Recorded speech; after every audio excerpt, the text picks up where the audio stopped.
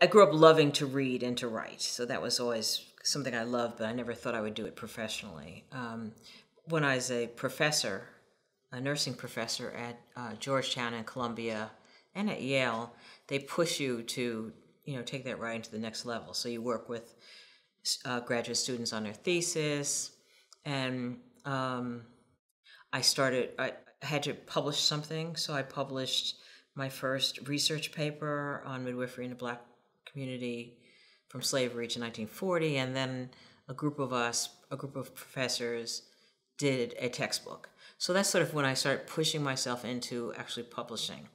And then I got talked into writing a memoir um, in 19, that was published in 1997.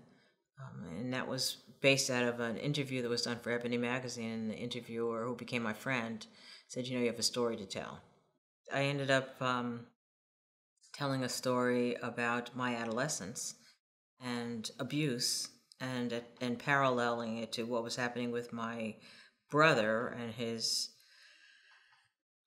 drugs and you know um, and that whole recovery process and, and the trauma of that. I started writing about it on legal pad and that became my first you know commercial book was that memoir